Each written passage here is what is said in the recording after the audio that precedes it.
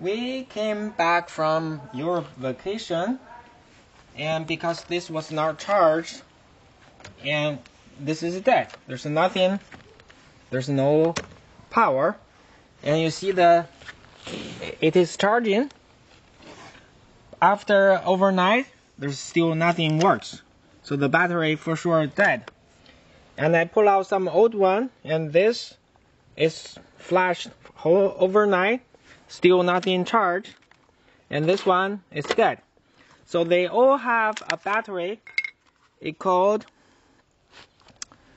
uh, NICD nickel uh, similar uh, cadmium. And this is all rechargeable battery and this is a very similar but they are all dead. How do we revive it? So the first of all, you take the battery. This is a 3.5, 3.6 volt battery. Um, and I'm going to show you how to revive this. You take this off. So this is a, a red is the positive and black is the negative. And you put some wire, use a wire cutter and cut this uh, exposed. Okay, so what you do is put this in here. That's one lid. And put another one here.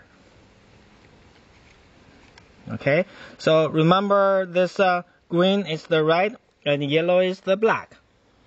And I'm going to connect the black to the charger.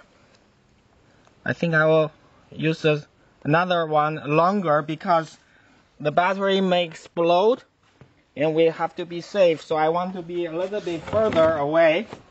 So I, I connect this uh, black one to this one and the red one I will just uh,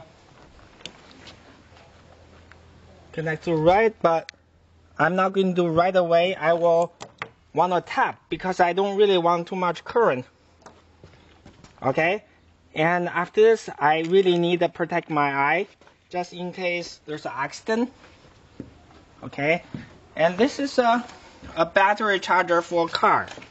You can change, this one has setting in the 6 volt or 12 volts. So I'm going to try 6 volts first.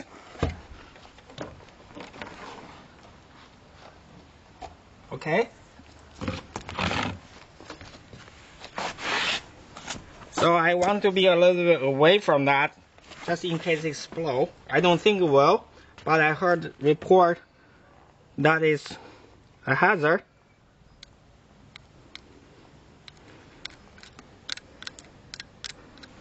See you, you see some spark. That is saying it's charging, but I don't want a constant co uh, contact because if I do that, it may be too much current. So I'm going to try to feel how hot this is.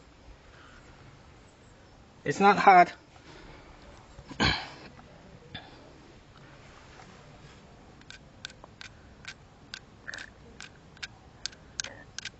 and hopefully this would work.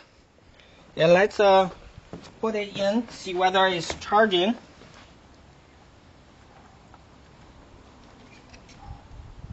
You put this back in.